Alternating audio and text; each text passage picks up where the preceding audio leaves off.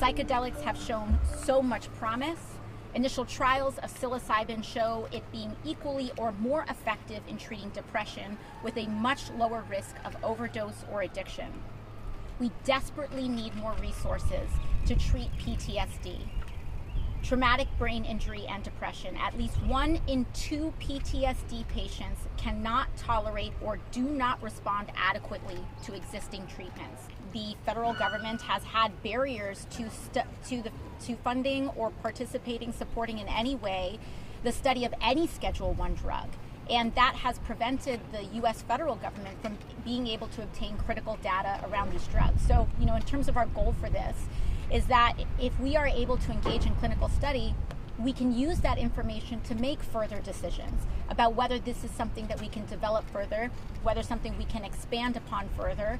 But right now, our hands are tied in terms of getting the science that we need to make those decisions.